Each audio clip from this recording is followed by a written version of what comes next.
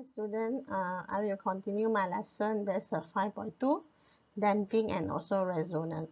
So from here we starting go and see what means of the damping. Damping actually is one of the process. Okay, whereby the oscillation die down. Die down means slow down due to the loss of the energy to the friction of the forces. Okay, let's see the diagram here. The diagram is a pendulum that oscillate. Okay, when you see this one diagram, that means the oscillation angle should be the same. This one we cannot say there's a damping because the oscillate keep at the same angle. This one is a vibration. Vibration, can you see the spring? They also vibrate at the same uh, location, is it? So this one we also cannot say damping. Damping the situation is oscillation, they will slow down. That means the angle will become smaller and smaller. Then the reason is why? Loss of energy to the surrounding.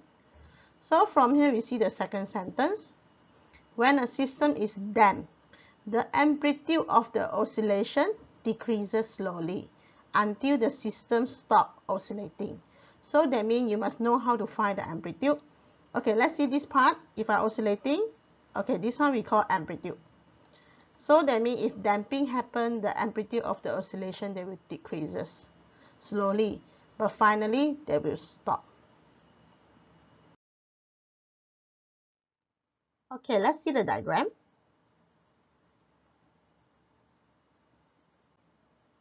Okay, can you find it? When they start to swing, the amplitude should be the highest. When slowly, slowly you find it, the parallel angle becomes smaller. So this one situation, we call it as a damping. Okay, so from the diagram, we find it, the amplitude of the swing. When starting, there's a, is a big angle, is it? Finally, they become slow down. So this one situation, we call it as a damping. Okay, from here we can explain the graph of the displacement against time. Displacement against the time. So from here, when starting, we find the amplitude is higher. A1 should be the higher. A2 becomes small, A3 also smaller. Then the last one is a A4. The amplitude becomes smaller and smaller against the time. So from here, the amplitude for the oscillation decreases with the time.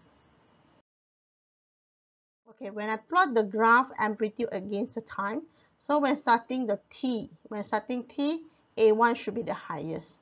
Until 3t, that means the time for third oscillation, so you find it, a will drop until become a4. So this one is amplitude decreases with the time. Amplitude decreases with the time, they show what? Show the experiences gradual loss of the energy. Finally, the oscillation becomes stop. Okay, here we got two of the example. You can refer the diagram here. When starting the first one, okay, the first one, the oscillating uh, of the vibration of the spring. So this one vibration that happen in the A, in a normal room lah. When the normal room surrounding, we got A molecule, is it? So there uh, will damp. When you find the amplitude become drop. So this one situation, we call it damping. Okay, another diagram okay you can see the spring. They already keep inside one of the boxes. The boxes should be the vacuum. So you find it there's still there's still vibration. Although you never touch anything never using any force so you find it the amplitude. The amplitude keep at the 5 uh, cm I think so. 5 cm. Mean this one situation we cannot say there's a damping because we don't have any air molecule to affected so don't have any, any energy be lost now we need to see why the energy will lost. Okay, we got two situations, the energy loss, then the cost about damping. Okay, first one we call external damping. Okay, oscillation system lost energy. Okay, overcome the friction of the A resistance. Because surrounded, we got A molecule, is it? So this one we call it, they overcome the external A resistance. Okay, another one is the internal damping. Internal, what we get it? Internal of the object, we got molecule. So the molecule, they will vibrate. Then the molecule, when they vibrate or when they compress, you stretching, you find it, they also lost energy to the surrounding. So from here, external, air resistant. Internal, molecule or particle of the object, they also will cause damping will happen. So from here, the effect of the damping, how we go to overcome, we using periodic external force. That means you need to add the external force to overcome the energy loss. Let's see the next one.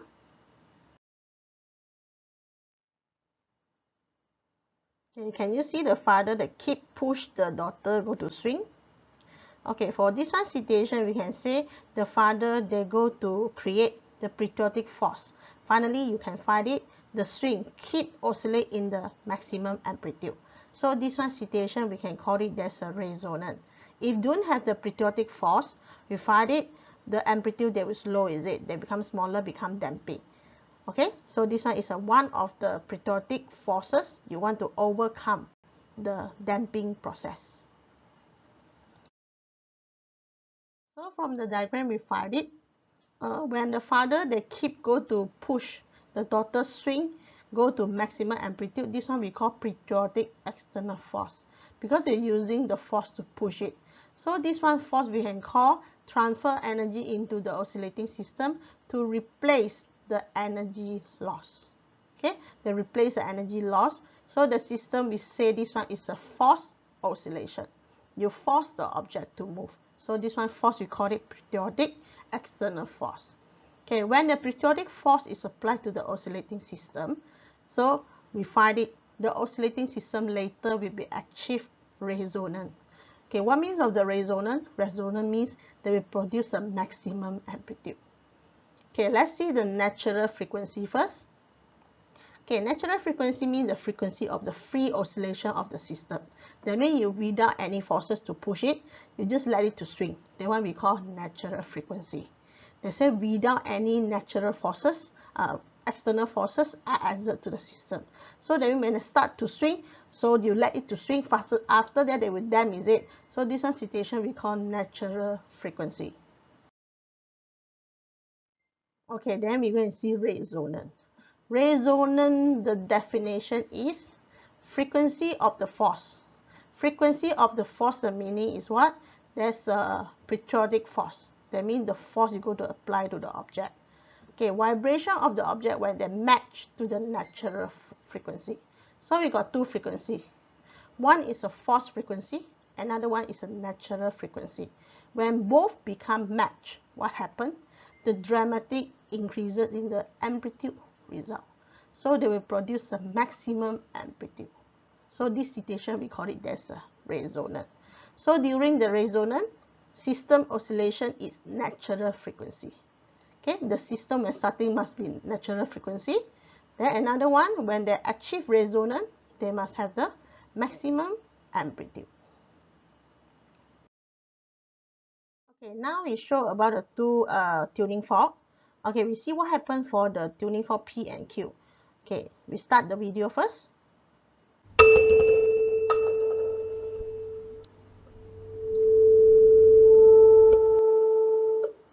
Okay, can you listen? So when starting, they're using the bob to hit the tuning fork P. Then that one is an external force. After that, the Q is nothing. They never hit. Then they put the microphone below there, they listen the sound. So this one explanation is the vibration of the tuning fork P have force, tuning fork Q. That means Q is a force to vibrate. Okay, because of the resonance with the P. They achieve the resonance, that means Q also will uh, vibrate to the maximum amplitude. So from here, this one amplitude here is represented by sound. Energy is transferred from the tuning fork P to the tuning fork Q. So the tuning fork Q, they vibrate with the maximum amplitude and produce the sound that can be detected. So this one we cannot see the vibration too fast. We're just using the sound, maximum sound to represent to the resonance.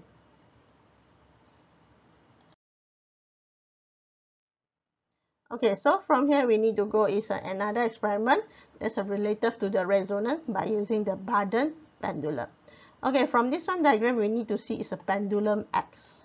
Okay, let's see the pendulum X. Okay, first one, the other pendulum uh, also never move. I just move the pendulum X. When I just oscillate the pendulum X, okay, you find it A until F. All the pendulum are forced to oscillate. Okay, forced to oscillate means there's an external force.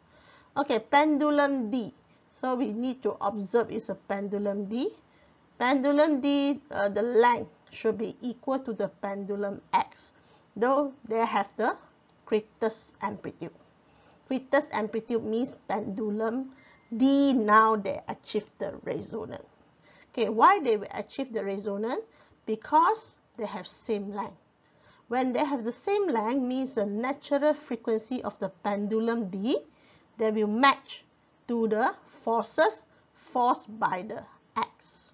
So we can say natural frequency.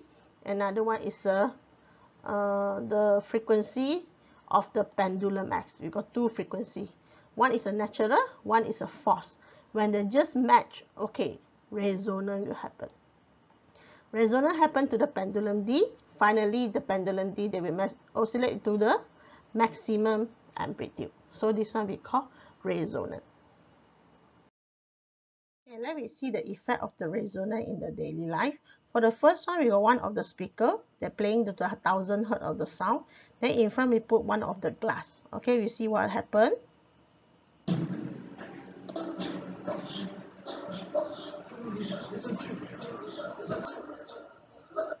Okay, so this one is starting. Now we go and see the second diagram. This one is a real one, one of the glass in front of the speaker.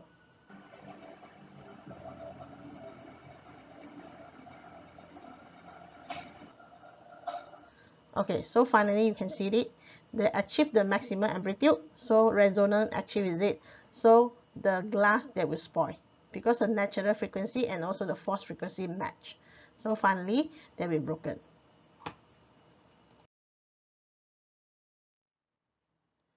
Okay, this one is the effect of the resonance in the daily life.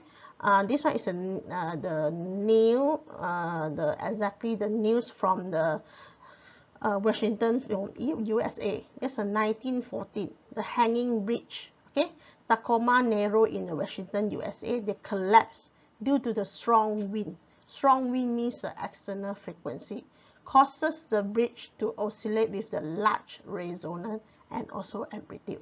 So when they just match what happened for the bridge, okay, then we see the video.